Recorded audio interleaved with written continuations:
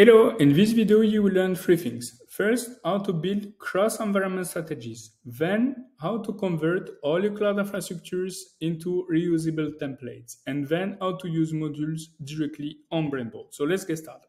The first thing we are going to do is to go to the architecture selector where we can find our project, our environment, and our architecture. Then we are going to create new environments. Here, for example, we're going to create production.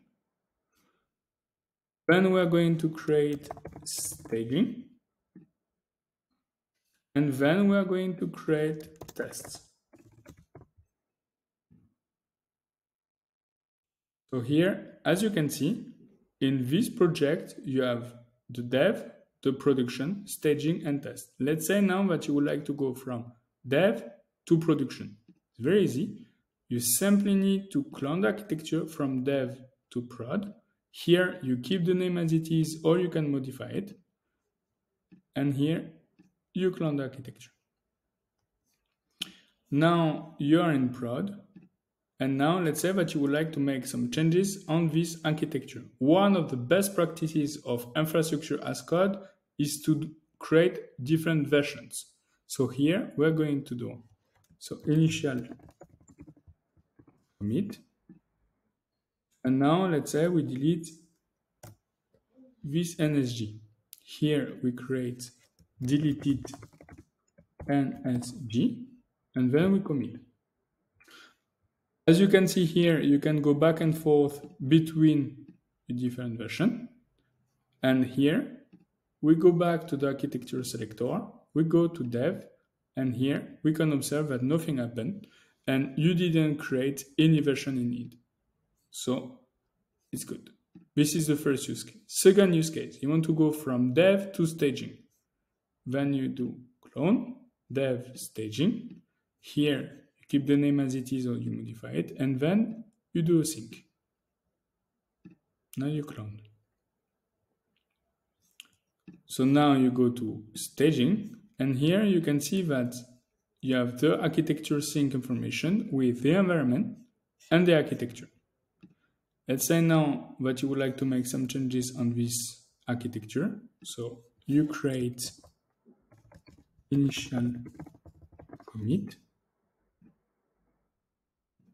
You delete the NSG. Here you create a new version is deleted NSG. So as you can see, you're still in staging.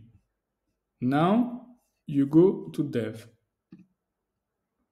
So everything that you have done in one environment has been reflected into the other one. So here the NSG is not there. And here you have U2 versions.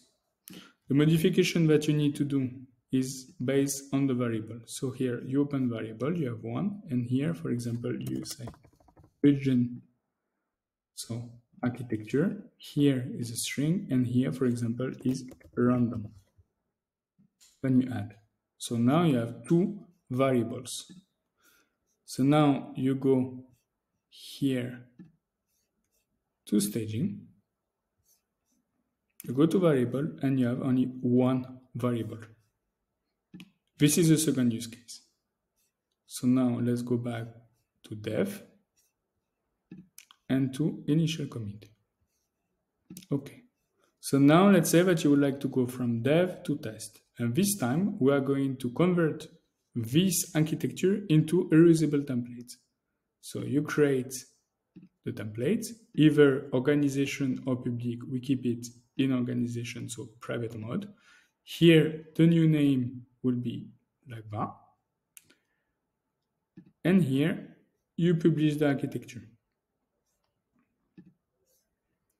So now you are going to test. Here you have all of your architecture. And here as you can see before you can go to network security. You clone the template. In literally two seconds you have the architecture and you have your code. So i showed you now how to create your template. Now you want to create, for example, and you want to use modules, simply need to import the module Terraform module here. You specify the module name from the registry or the Git or from files, and then you import it. Once it's imported, you are able to build your own module catalog. For example, here we are going to look for Azure. So for example, it can be Azure VNet mod. Here you pin the module to be able to use it and then use it here. As you can see, you have all the information, module name, module source, optional variable, but you can configure your own module. And then here, you can see that line 70, the module has already been there. So I showed you how to build your cross-environment strategies, how to convert all your infrastructure into reusable templates, and how to use modules on Brainboard. I hope this video has been useful for you, and if you have any questions, I will be happy to help you build your own use cases on Brainboard. Have a great day.